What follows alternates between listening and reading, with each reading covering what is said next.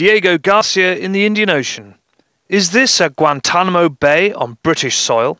Does the United States hold prisoners from its war on terror without charge in camp justice or in ships off the coast? Retired four star US General Barry McCaffrey says yes.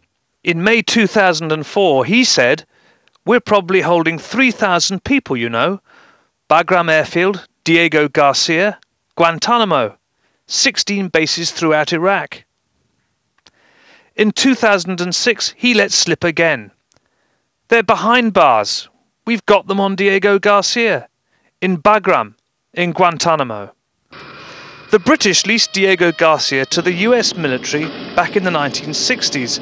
It's now home to one of the largest US military bases in the world. It's the biggest island in what's known as British Indian Ocean Territory, which means British law, not US law, governs the islands. Even if British officials didn't know about it at one point, at this point they do, we've told them, and since 2004 they've heard it on television.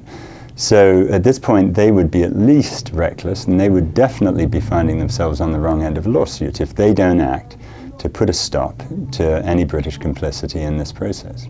In June 2006, Swiss Senator Dick Marty produced a special report on rendition for the Council of Europe. He concluded that Diego Garcia has been used as a secret prison. Al Jazeera asked the minister in charge of the overseas territories, Meg Munn MP, her response to these serious allegations. She failed to return our calls. Other UK lawmakers are deeply unhappy. It is crucial for Western democracies, led by the United States, we have a clean-up of this. We establish what the facts really were, get it out of the public domain, and say this was wrong. This was a mistake. It was bad, it was unethical, and it was also unefficacious. It almost certainly did not assist us in combating extremism uh, and the so-called war on terror. So repeated attempts by British lawmakers and by Al Jazeera to ascertain whether prisoners are being held or have been held illegally on the island of Diego Garcia have simply failed. Now campaigners are arguing that British members of parliament need to get to Diego Garcia themselves to find out the truth.